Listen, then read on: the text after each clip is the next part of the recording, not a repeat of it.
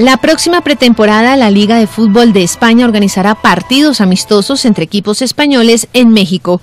Así lo anticipó Javier Tebas, su máximo dirigente de visita en el país, en el anuncio de una oficina de representación de la Liga. México es el segundo país después de España donde más se sigue la competición española, con unos 25 millones de telespectadores.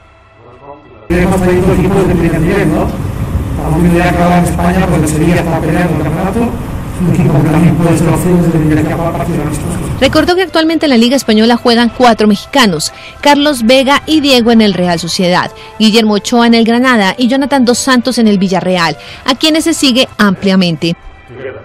Queremos estar más cerca de ellos y para estar más cerca de ellos tenemos que estar en el sitio. Explicó que la competición española ha trabajado en un concepto global para hacer saber al mundo que la liga tiene más equipos que Barcelona y Real Madrid que por cierto estamos muy contentos de tenerlos, ¿no? que, que son el motor ¿no? de, nuestra, de nuestra liga, pero estamos trabajando en esa línea de Hace unas semanas el presidente del Atlético de Madrid, Enrique Cerezo, confirmó el interés del club rojiblanco en contar con una franquicia en el estado de San Luis Potosí.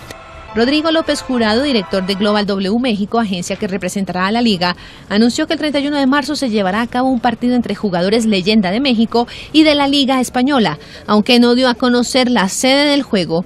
Además de Ciudad de México, la liga cuenta con oficinas en Dubái, Nueva York, China, India, Nigeria y Sudáfrica.